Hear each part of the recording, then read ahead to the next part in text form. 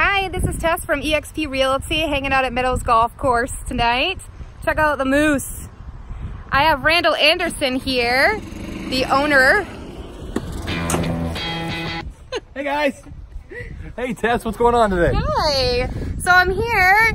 Randall wants to tell us a little bit about Meadows Golf Course in Litchfield and what it has to offer. You're a little shorter than me. I know, really, for real.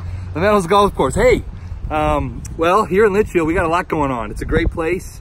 If you've never been to Litchfield, you're crazy. You should just make it a special bucket list trip. For sure. But if you've been around here, you already know some things. Like the Meadows Golf Club's been here 22 years. Um, we do all kinds of cool stuff. We do golf, of course. Uh, 18 holes designed by Bradley Booth. Um, we got our friendly moose here that you got a little preview of that you'll have to come see in person. And we're open year round. We got a pub. Uh, we put on winter triathlon. We put on all kinds of events. So the community has a place to come whether it's trivia night or it's uh, cribbage or the kids 12 and under eat free, just, just stuff like that. Uh, we're always trying to find a way for people to have fun with their with food and friends. Fun food friends, fun food friends, that's us. Yeah. So yeah, Litchfield. Woohoo! We're happening.